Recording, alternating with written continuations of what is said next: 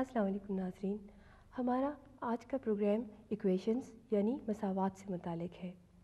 اس programme میں ہم آپ کو الجبری فکروں، مساوات کی خصوصیات، ان کے حل سیٹ اور گراف بنانے کے بارے میں بتائیں گے۔ اس کے علاوہ عنوان کے حوالے سے دلچسپ اور تاریخی معلومات بھی فراہم کی جائیں گی۔ تو آئیے سب سے پہلے الجبری فکروں کے بارے میں جانتے ہیں۔ روزمرہ بول چال میں ہم اپنے خیالات کو بیان کرنے کے لیے الفاظ اور فکرے استعمال کرتے ہیں۔ عام طور پر ہمیں تین طرح کے بیانات سے واسطہ پڑتا ہے۔ درست بیانات، غلط بیانات اور کھلے بیانات۔ مثال کے طور پر، خوبصورت شہر اسلام آباد ہمارے ملک پاکستان کا دارالحکومت ہے۔ ہمارے ملک کا قانون ساز ادارہ یعنی پارلیمنٹ ہاؤس اسلام آباد میں واقع ہے۔ دنیا کی مشہور فیصل مسجد اسلام آباد میں واقع ہے۔ یہ تمام درست بیانات ہیں۔ اسی طرح فرض کیجیے کہ ہم یہ کہتے ہیں کہ لاہور صوبہ سرحد میں واقع ہے۔ قائد اعظم کا مزار لاہور میں واقع ہے۔ تو یہ غلط بیانات ہوئے۔ اب ذرا ان بیانات پر غور کیجیے۔ وہ شہر پاکستان کا سب سے بڑا شہر ہے۔ یا وہ شہر ساحل سمندر کے قریب واقع ہے۔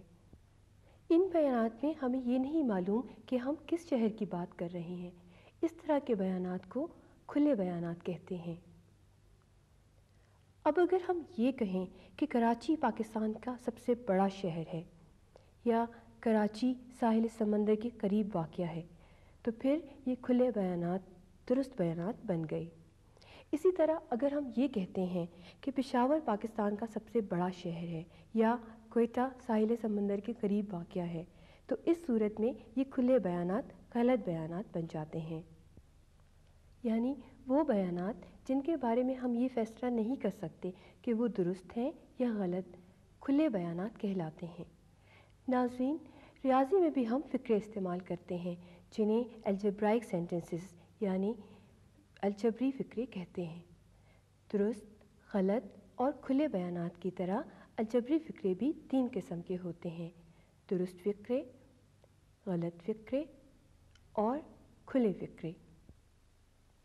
الجبری فکروں کی تفصیل جاننے سے پہلے آئیے ان میں استعمال ہونے والی چند علامتیں دیکھتے ہیں۔ الجبری فکروں میں کئی طرح کی علامتیں استعمال ہوتی ہیں۔ ریاضی میں خیالات کا اظہار انہی علامتوں کی مدد سے کیا جاتا ہے۔ مثال کے طور پر کوئی سے دو عادات یا جملوں یا آپس میں مساوی ہونے کے لیے ہم ایکویلٹی یعنی مساوی کی علامت استعمال کرتے ہیں۔ ریاضی میں مساوی ہونا یہ ظاہر کرتا ہے کہ ہم ایک ہی چیز کو دو مختلف طریقوں سے بیان کر رہے ہیں۔ آئیے اس کی ایک مثال دیکھتے ہیں۔ اگر ہم اس ترازو کے ایک پرے میں پانچ گرام کا باٹ رکھتے ہیں، تو اس وزن کو برابر کرنے کے لیے دوسرے پلڑے میں دو دو گرام کے دو باٹ اور ایک گرام کا ایک باٹ رکھنا ہوگا۔ اس طرح سے یہ دونوں وزن مساوی ہوئے۔ یعنی پانچ گرام برابر ہے دو گرام جمع دو گرام جمع ایک گرام کے آپ دیکھ سکتے ہیں کہ ہم نے ایک ہی عدد کو دو مختلف طریقوں سے ظاہر کیا ہوا ہے۔ ناظرین، جیسا کہ ہم جانتے ہیں کہ ہمیں روزمرہ زندگی میں ایک جیسی چیزوں یا مقداروں کا موازہ کرنے کی ضرورت پیش آتی رہتی ہے۔ اگر ہم اپنی ارد گرد کی دنیا میں کسی بھی دو اشیاء کا موازنہ کریں، تو ہمیں مساوی کی بنسبت غیر مساوی چیزیں ملیں گی۔ مثال کے طور پر ان شکلوں کو دیکھیں۔ یہ تمام آپس میں غیر مساوی ہیں۔ ان عمارتوں کو دیکھیں، یہ تمام عمارتیں آپس میں غیر مساوی ہیں۔ ریاضی میں بھی ہمیں اسی طرح کے فکروں سے واسطہ پڑتا ہے۔ ان کے لیے ہم مختلف علامتیں استعمال کرتے ہیں۔ مثلا، کوئی سے دو عادات یا جملوں کے آپس میں بڑا ہونے کے لیے ہم یہ علامت استعمال کرتے ہیں۔ اسے ہم یوں پڑھتے ہیں، اس گریٹر دین یعنی سے بڑا ہے۔ مثال کے طور پر چار تین سے بڑا ہے۔ اسی طرح کوئی سی دو عادات یا جملوں کے ایک دوسرے سے چھوٹا ہونے کے لیے ہم یہ علامت استعمال کرتے ہیں اور اسے یوں پڑھتے ہیں، اس لیس دین یعنی سے چھوٹا ہے۔ مثلا دو تین سے چھوٹا ہے۔ ایسے ہی کوئی سے دو جملوں یا اعداد کے آپس میں برابر نہ ہونے کے لیے ہم غیر مساوی کی علامت استعمال کرتے ہیں۔ مثال کے طور پر دس اور تیرہ آپس میں غیر مساوی ہیں۔ مختلف علامتوں اور ان کو لکھنے کے عمل کو جاننے کے بعد اب ہم الجبری فکروں کی تین اقسام یعنی درست فکرے، غلط فکرے اور کھلے فکرے کے بارے میں بات کریں گے۔ ناظرین ایسے فکرے جو دی گئی شرائط کے مطابق درست ہوں، درست فکرے کہلاتے ہیں۔ آٹھ پانچ سے بڑا ہے اور چھ نو سے چھوٹا ہے۔ اسی طرح وہ فکرے جو دی گئی شرائط کے مطابق غلط ہوں، غلط فکرے کہلاتے ہیں۔ نو دو سے چھوٹا ہے یا آٹھ پانچ سے چھوٹا ہے۔ وہ فکرے جن کے درست یا غلط ہونے کا فیصلہ اس وقت تک نہ کیا جا سکے جب تک کہ ان کے ساتھ کچھ اضافی معلومات نہ دی گئی ہوں، کھلے فکرے کہلاتے ہیں۔ مثلا، چار ایکس جمع پانچ برابر ہے نو کے۔ نائن ایکس برابر ہے ستائیس کے۔ یہاں پر ایکس کسی عدد کو ظاہر کرتا ہے۔ فرض کریں ہم کوئی کھلا فکرہ لیتے ہیں۔ مثلا، چار ایکس مساوی ہے اڑتالیس کے۔ اگر ہم یہاں ایکس کی جگہ بارہ کا عدد لکھیں، تو اس صورت میں یہ کھلا فکرہ درست فکرہ بن جائے گا۔ اسی طرح کوئی اور عدد مثلا پانچ رکھیں تو پھر یہ کھلا فکرہ غلط فکرہ ہوگا۔ ناظرین، ریاضی میں کھلے فکروں کی بڑی اہمیت ہے۔ کھلے فکرے دو طرح کے ہوتے ہیں ایکویشنز یعنی مساوات اور ان ایکویشنز یعنی غیر مساوات۔ آئیے پہلے مساوات کے بارے میں جانتے ہیں۔ اگر کھلے فکرے میں مساوی ہونے کی شرط پائی جائے تو اسے مساوات کہتے ہیں۔ مثلا ایکس جمع تین مساوی ہے بارہ کے۔ آئیے مساوات کے بارے میں عام زندگی کی ایک مثال دیکھتے ہیں۔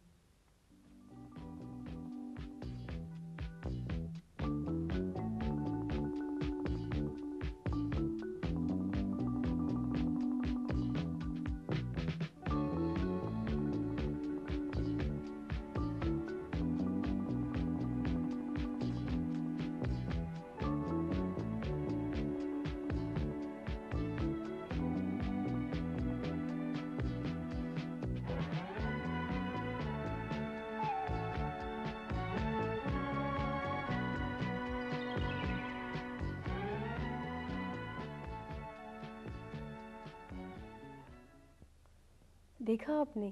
مساوات کے خواص ایک ایسے ترازو کی مانند ہے جس کے دونوں پلڑے برابر ہوں۔ اگر ہم ایک پلڑے میں اضافہ کرتے ہیں تو دونوں پلڑوں کو برابر رکھنے کے لیے دوسرے پلڑے میں بھی اتنا ہی اضافہ کرنا ہوگا۔ یہی صورت کمی کرنے میں پیش آئے گی۔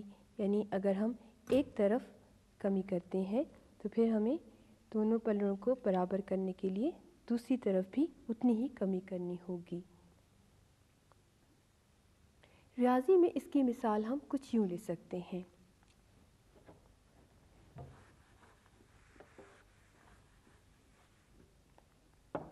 فرض کریں ہم یہ مساوات لیتے ہیں۔ ایکس جمع تین ہے، برابر ہے آٹھ کے۔ اس کے دونوں جانب ہم منفی تین جمع کرتے ہیں۔ تو اس صورت میں ہمیں یہ مساوات ملی یعنی ایکس مساوی ہے پانچ کے۔ کسی عدد کو ایک جانب سے دوسری جانب لے جانے کے عمل کو ٹرانسپوزیشن یعنی عمل انتقال کہتے ہیں۔ ناظرین، مساوات کی تاریخ بہت قدیم ہے۔ تیسری صدی عیسوی میں یونانی انہیں استعمال کرتے تھے۔ یونانیوں میں ڈائفنسز کو مساوات کے حل کرنے میں اہم مقام حاصل ہے۔ یونانی مساوات اس طرح نہیں لکھی جاتی تھیں جیسے ہم آج کل لکھتے ہیں۔ وہ الفاظ میں اور بعض اوقات اشعار میں لکھی جاتی تھیں۔ نویں صدی عیسوی میں خلیفہ معمون کے دور کے سب سے اہم سائنسدان محمد بن موسیٰ الخوارزمی تھے۔ ان کی مایاناز تصنیف الجبر والمقابلہ کئی صدیوں تک نہ صرف اسلامی دنیا میں بلکہ یورپ میں بھی پڑھائی جاتی رہی۔ اس کتاب میں الخوارزمی نے دو تصورات پیش کیے، الجبر اور المقابلہ۔ آئیے دیکھتے ہیں الجبر اور المقابلہ سے کیا مراد ہے۔ الجبر وہ عمل ہے جس کے ذریعے منفی رکوم کو مساوات کے دوسری جانب لے جاتے ہیں تاکہ وہ مثبت ہو جائیں۔ مثلا ہم یہ مساوات لیتے ہیں۔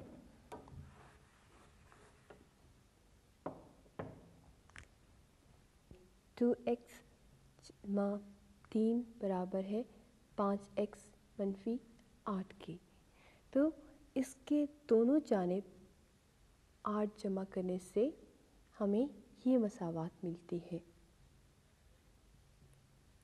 جس کو الجبر کے ذریعے اس مساوات میں لکھا جا سکتا ہے۔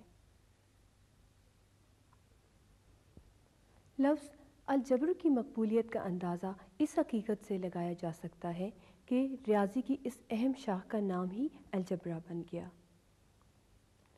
اسی طرح المقابلہ سے مراد وہ عمل ہے جس سے مساوات کے دونوں جانب توازن رکھنے کے لیے ایک جیسی مثبت رقوم کو کم کیا جائے۔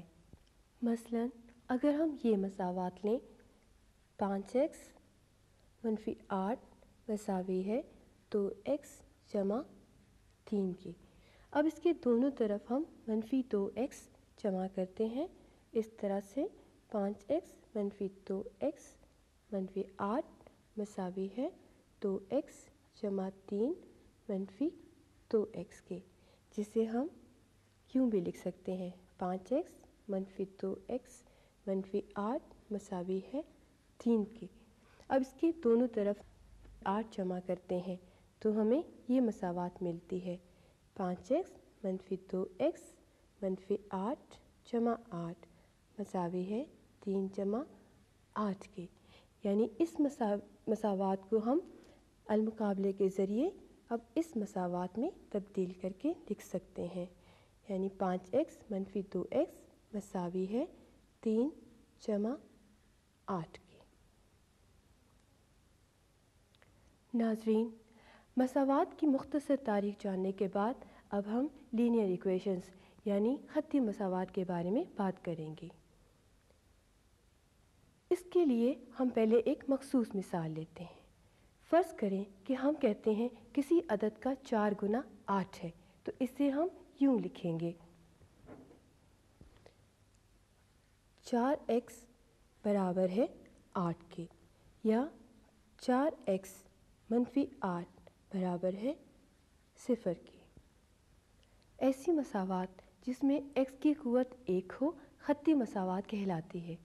عموماً اگر ہم ایک متغیر پر مشتمل کسی مساوات کو اس شکل میں لکھیں۔ اے ایکس جمع بی مساوی ہے صفر کے، جبکہ اے غیر صفر ہو۔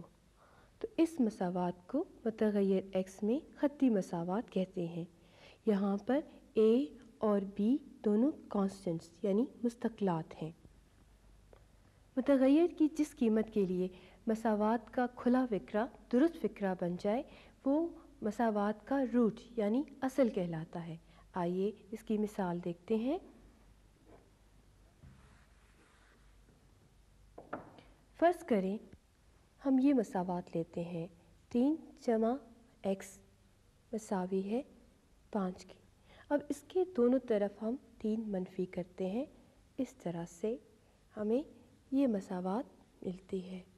یعنی ایکس مساوی ہے دو کے اب اس مساوات کی اصل دو ہے، کیونکہ ایکس کی جگہ دو رکھنے سے دیا ہوا کھلا فکرہ درست فکرہ بن جاتا ہے۔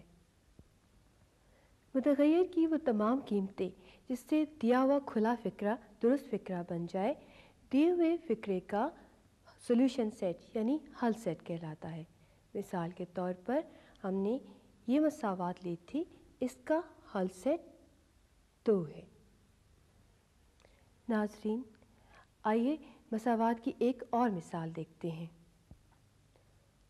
فرض کیجیے، اس سیسوں میں بائیں طرف جو بچہ بیٹھا ہوا ہے اس کا وزن اٹھائیس کلو گرام ہے اور دائیں طرف والے بچے کا وزن سولہ کلو گرام ہے۔ اب اس سیسو کو ایک لیول میں لانے کے لیے دائیں طرف کا وزن بھی اٹھائیس کلو گرام کرنا ہوگا۔ فرض کریں دوسرے بچے کا وزن ایکس کلو گرام ہے۔ تو ہمیں ایکس کی وہ قیمت چاہیے جس کو سولہ میں جمع کرنے سے حاصل جمع اٹھائیس آئے۔ اب ہمیں یہ مساوات ملی۔ ایکس جمع سولہ مساوی ہے اٹھائیس کے۔ اب ہم اس کے دونوں طرف سولہ منفی کرتے ہیں، تو پھر ہمیں ایکس کی قیمت بارہ ملتی ہے۔ یعنی ہمیں بارہ کلو گرام کا ایک اور بچہ چاہیے۔ اب ہم ایک عبارتی سوال میں مساوات کے استعمال کے بارے میں جانتے ہیں۔ مثال کے طور پر ہم یہ کمرہ لیتے ہیں۔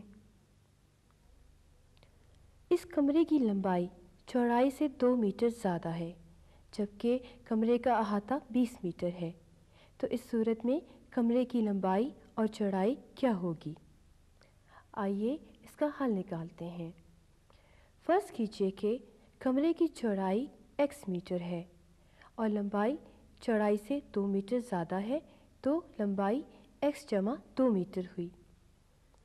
اس طرح کمرے کا احاطہ دو ایکس جمع دو ضرب ایکس جمع دو یعنی چار ایکس جمع چار ہے سوال کے شرائط کے مطابق کمرے کا احاطہ بیس میٹر ہے تو اس صورت میں یہ مساوات بنی یعنی چار ایکس جمع چار مساوی ہے بیس کے اب اس مساوات کے دونوں طرف ہم چار منفی کرتے ہیں تو ہمیں یہ مساوات ملتی ہے یعنی چار ایکس مساوی ہے سولہ کے یا ایکس مساوی ہے چار کے یعنی اس صورت میں کمرے کی چوڑائی چار میٹر ہوگی اور لمبائی چار جمع دو یعنی چھ میٹر ہوگی۔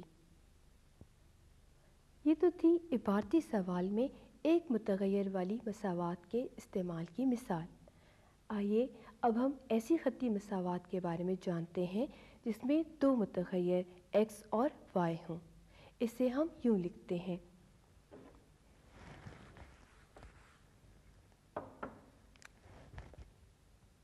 وائی مساوی ہے اے ایکس جمع بی کے جبکہ اے غیر صفر ہو۔ یہاں پر اے اور بی دونوں مستقلات ہیں۔ ایسی مساوات کے حل سیٹ کے ارکان کی تعداد محدود نہیں ہوتی۔ اس کے حل سیٹ کے چند ارکان معلوم کرنے کے لیے دی ہوئی مساوات میں ہم ایکس کی کچھ قیمتیں درج کرتے ہیں۔ مثال کے طور پر ہم یہ مساوات لیتے ہیں وائی مساوی ہے دو ایکس منفی پانچ کے۔ اس میں اگر ہم ایکس کو صفر لیں تو اس صورت میں وائی کی قیمت منفی پانچ ہوگی۔ اسی طرح ایکس کو ترتیب ایک، دو، تین اور منفی ایک، منفی دو رکھنے سے ہمیں وائی کی یہ قیمتیں حاصل ہوں گی۔ وائی مساوی ہے، منفی تین، منفی ایک ایک، منفی سات اور منفی نو کی۔ اس صورت میں حل سیٹ کے ارکان یہ مترتب جوڑے ہوں گے۔ زیرو، منفی پانچ، ایک، منفی تین، دو، منفی ایک، تین، ایک، منفی ایک، منفی سات اور منفی دو، منفی نو۔ آئیے اب ہم دو متغیر والی خطی مساوات کا گراف بنانے کے بارے میں جانتے ہیں۔ فرض کیجیے ہم یہ مساوات لیتے ہیں وائی مساوی ہے دو ایکس منفی پانچ کے۔ اب ہم ان مترتب جوڑوں کے مترادف نکات لیتے ہیں۔ زیرو منفی پانچ یہاں پر ہوگا۔ اسی طرح ایک منفی تین یہاں پر ہوگا۔ دو منفی ایک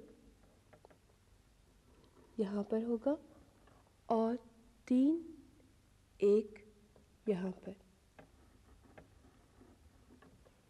اسی طرح چار اور تین کو ہم یہاں پلاٹ کریں گے اور پانچ اور پانچ کو یہاں پر۔ اب ہم ان تمام نکات کو ملاتے ہیں۔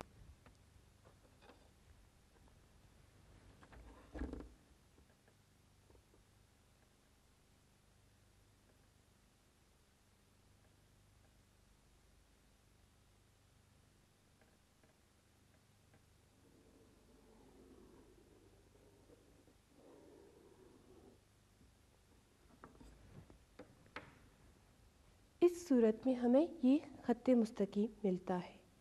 اس طرح یہ خط ان تمام نکات کا گراف ہے۔ اسی خط کی مناسبت سے اس مساوات کو خطی مساوات کہتے ہیں۔ اب ہم آپ کو ان ایکویشنز یعنی غیر مساوات کے بارے میں بتاتے ہیں۔ ایسا کھلا فکرہ جو دو جملوں کا غیر مساوی ہونا ظاہر کرے، غیر مساوات کہلاتا ہے۔ مثال کے طور پر ایکس منفی تین سات سے چھوٹا ہے اور دو ایکس منفی پانچ آٹھ سے بڑا ہے۔ یہ دونوں غیر مساوات ہیں۔ یہ نہ تو درست ہے نہ غلط۔ مساوات کی طرح غیر مساوات میں بھی جب ہم کسی متغیر کی جگہ کوئی خاص عدد لیتے ہیں تو ہمیں درست یا غلط فکرے ملتے ہیں۔ مثال کے طور پر اگر ہم یہی مساوات لیں ایکس منفی تین چھوٹا ہے سات سے۔ یہاں پر پانچ کا عدد رکھنے سے ہمیں یہ غیر مساوات ملتی ہے یعنی دو چھوٹا ہے سات سے، جو کہ صحیح فکرہ ہے۔ اسی طرح اگر ہم یہاں پر ایکس کی جگہ بارہ رکھیں یعنی بارہ منفی تین چھوٹا ہے سات سے، تو ہمیں یہ غیر مساوات ملتی ہے۔ نو چھوٹا ہے سات سے، جو کہ غلط فکرہ ہے۔ متغیر کی جن قیمتوں کے لیے غیر مساوات والے فکرے درست فکرے بن جائیں، ان پر مشتمل سیٹ کو غیر مساوات کا حل سیٹ کہتے ہیں۔ مثلا اگر ہم یہ غیر مساوات لیں ایکس منفی ایک بڑا ہے چار سے۔ اب اس کے دونوں جانب ہم ایک جمع کرتے ہیں۔ تو ہمیں یہ غیر مساوات ملتی ہے یعنی ایکس بڑا ہے پانچ سے۔ اب ایکس کی وہ تمام قیمتیں جو کہ پانچ سے بڑی ہیں، رکھنے سے دی گئی غیر مساوات درست بن جاتی ہے۔ اس صورت میں اس غیر مساوات کا حل سیٹ ان تمام حقیقی عداد پر مشتمل ہے جو کہ پانچ سے بڑے ہیں۔ اس طرح اس کا حل سیٹ یہ ہوا، وہ تمام ایکس جبکہ ایکس رکن ہے، حقیقی عادات کا، اور ایکس پانچ سے بڑا ہے۔ ناظرین، یہ تو تھی غیر مساوات کی تشریح اور ان کے حل سیٹ معلوم کرنے کا طریقہ۔ ہمیں امید ہے کہ آپ کو الجبری فکروں، مساوات اور غیر مساوات کو سمجھنے میں مدد ملی ہوگی۔ اس کے ساتھ ہی ہمیں اجازت دیجیے۔ خدا حافظ۔